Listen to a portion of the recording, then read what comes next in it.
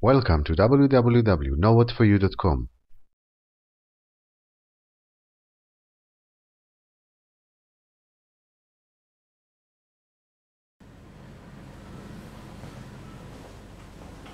Hi, my name is Amir. I'm uh, usually known as NoRad.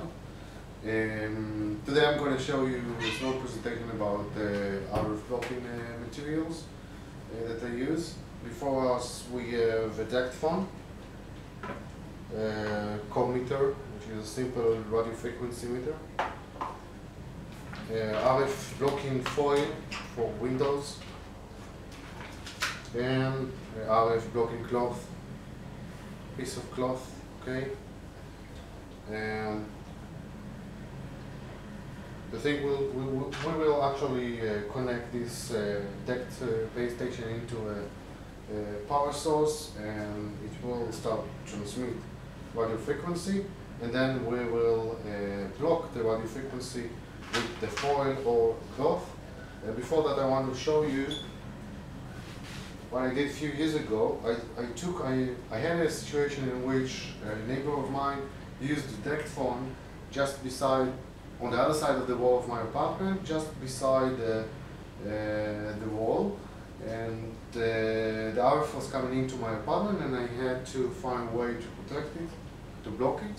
So what I did, I took a foil, the RF blocking foil. I comes in a tube actually of foil and I connected it to small uh, pieces of wood uh, with uh, masking tape and then I could just hang it over the wall, just put a, a, a screw or a, else connected to, to the wall and it hanged and when the DECT was in this location on the other side of the wall, it was blocking all the RF from entering uh, my apartment. So I'll just leave it down here for now and we go to the part uh, two of, for, for our experiment.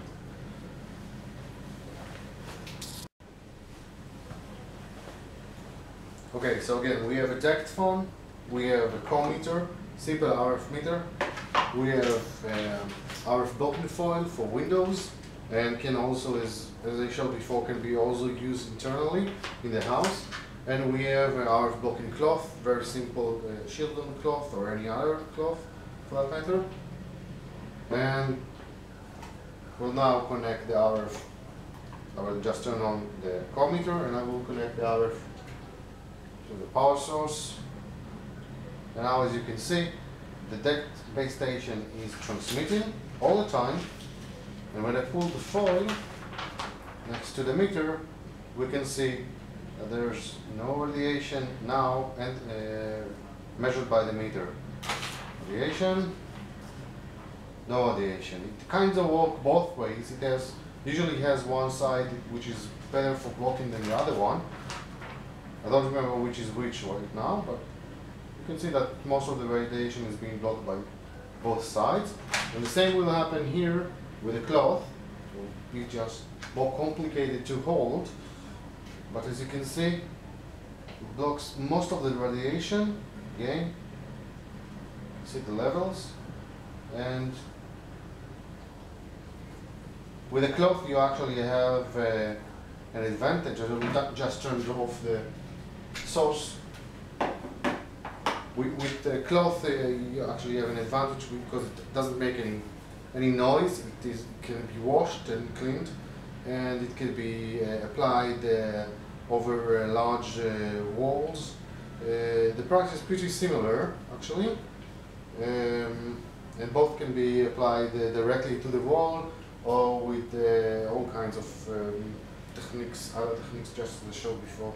I hope uh, that you've seen it, I hope you understand it. If you have any more questions, please email me, norad4u.com. Uh, and the email is norad4u at gmail.com. Um, that's all. Hope that's sufficient. Thanks. Bye. For additional info, please visit our website www.norad4u.com, our YouTube channel, our English blog, our Hebrew blog. Please join us on Facebook and Twitter.